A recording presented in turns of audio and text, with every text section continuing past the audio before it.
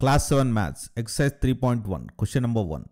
Find the range of heights of any 10 students of your class. So now let us take heights of 10 students. Let the heights of 10 students be. So let us take in centimeters.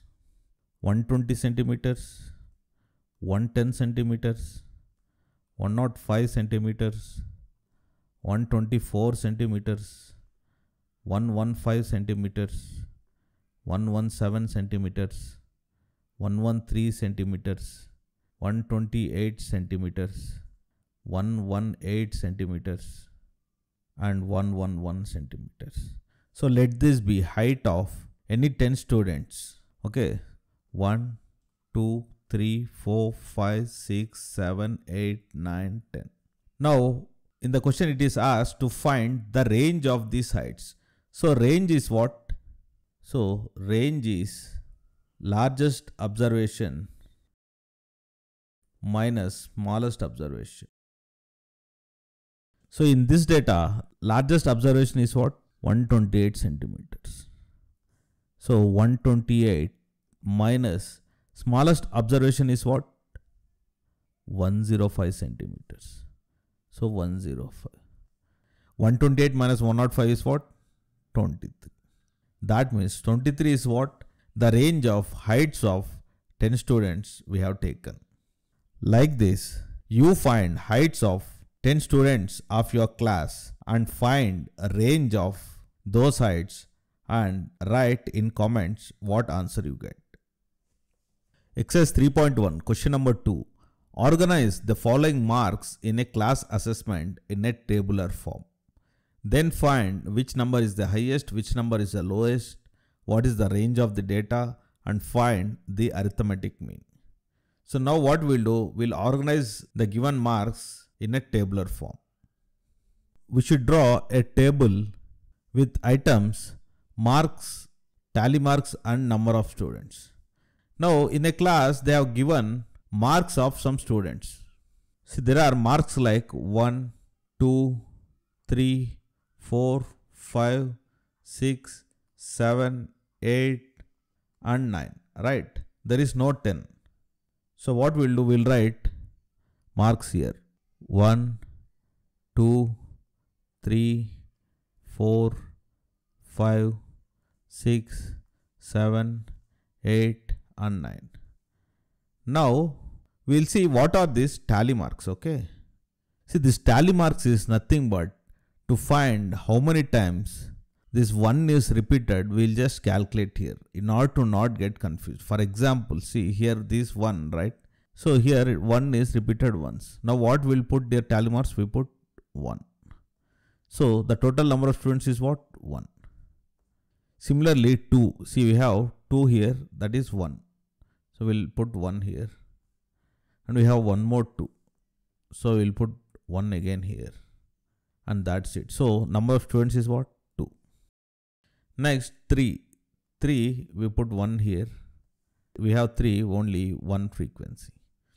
And next 4. 4 we have 1 here and one more here that is 2 and one more here that is 3. So this becomes 3. Next is what? 5.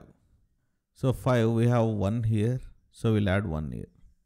And we have one more here. So we'll put one more here. And again 1. That is total 3. Again 5. That is total 4. So we put number of students is what? 4. And 6 if you take, we have 1 here. And one more here. One more here. And one more here. So total what? 4. Now we'll take 7. 7 we have 1. So we'll put 1 here. And we have one more. That is 2. So 2 number of students got 7 marks. 8. So 8 is what? Here we got 8. So we'll put 1 here and we'll put 1. Next is what? 9.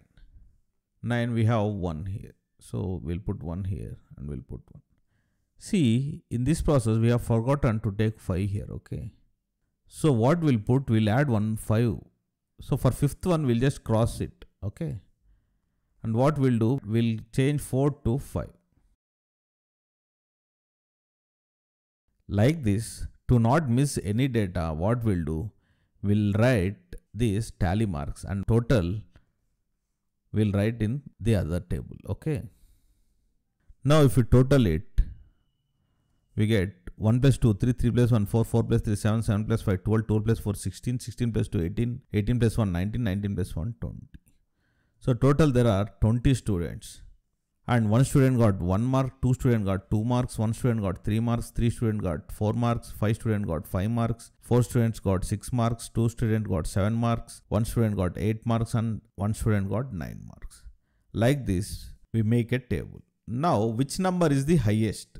So, highest is what? 9. So, the number 9 is what? Highest. Now, which number is the lowest? Lowest is what? 1 mark. So, 1 is the lowest. So what is the range? Range of the data is highest minus lowest. That means 9 minus 1. So 9 minus 1 is what? 8. So 8 is the range of the data.